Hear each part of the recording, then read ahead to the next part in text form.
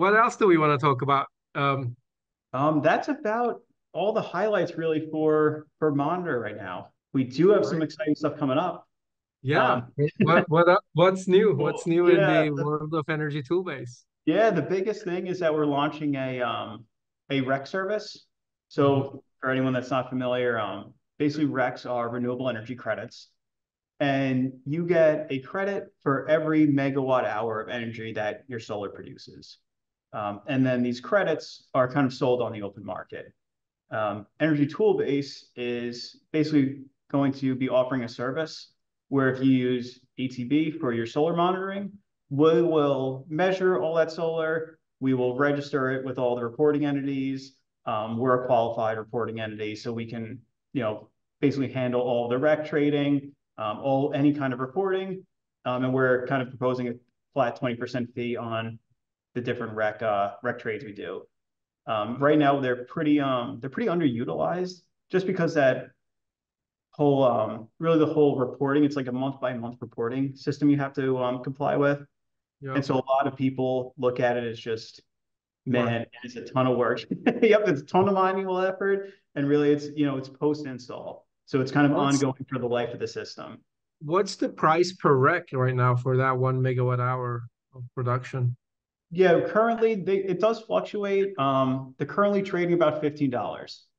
Okay. Um, yeah, and what's great with um, ETB is a lot of a lot of the reason customers um, don't really um, do it themselves, or a developer or asset owner might want to do it themselves, is you need kind of a bulk, um, a bulk kind of a big package of RECs to really sell. No one's super yeah. interested in buying like one REC. Um, yeah. so that's kind of the way we, we're kind of able to do this yeah. is we can aggregate, hey, all of our solar monitoring sites, if you enroll with us, basically we can bundle all of the RECs. And when we have a lot of RECs together, we can command a higher price um, on the open market than you know a developer can do really on their own. So that's kind of part of the service we're offering is we can even sell it at a higher price than even if you wanted to do all the reporting yourself, which you probably don't. Um, we could even get a fetch a higher price because of that.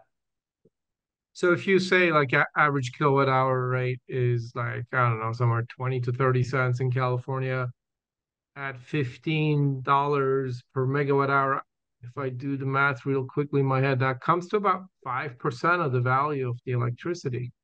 Is that yep, 5 to 10%? Um, yeah, and what we're looking at is um kind of a the rule of thumb would be um for a 300 kilowatt PV system, um, the revenue from the RECs is about an additional like seven thousand dollars a year.